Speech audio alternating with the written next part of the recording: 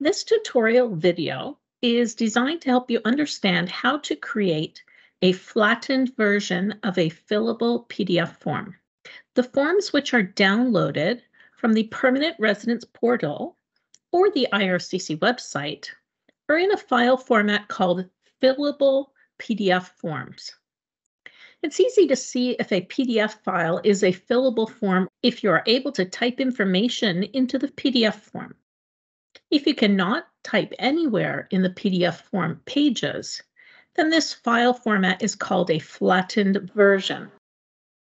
Creating a flattened PDF is important if you want to merge multiple files into one PDF document, or if you want to be able to insert an image of your handwritten signature or a hand-drawn signature using a mouse. For performing any of these tasks, you will first need to create a flattened version of the fillable PDF form. Let's take a look at which PDF forms you may wish to make a flattened version for. When considering the downloaded sponsors forms, you may want to flatten the sponsorship undertaking and settlement plan, the sponsor assessment form, the financial profile form, or appointing a representative in the community of settlement form. When it comes to the refugees forms, you may want to consider flattening the Schedule 2 form or the use of representative form. Now let's see what you'll need for creating a flattened version of the fillable form. It is important to point out that this demonstration is for those who are using Windows operating systems. People who use Mac computers are not currently able to flatten a fillable form in the same way that I'm about to show you. Mac users can, however, print to a physical printer and then scan the printed page back to a PDF. This will create a flattened version of the PDF form. Now let's take a look at how a fillable form can be flattened using a PC computer.